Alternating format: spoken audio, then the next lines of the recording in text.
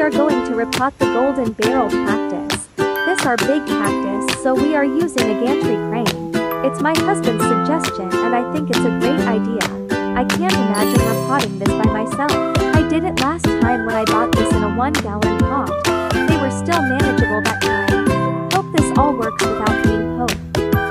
Here's the soil I mixed. Combination of organic and inorganic materials.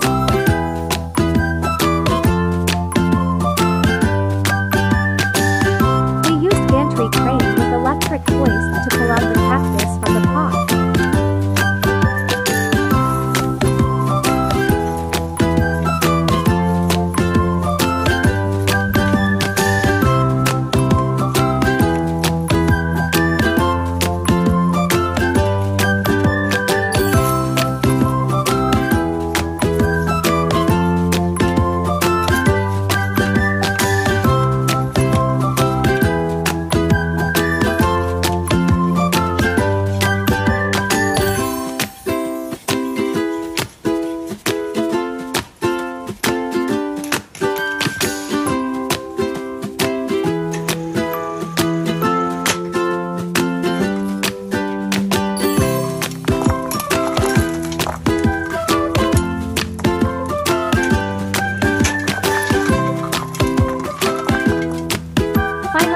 It's time to loosen the soil, take out the weeds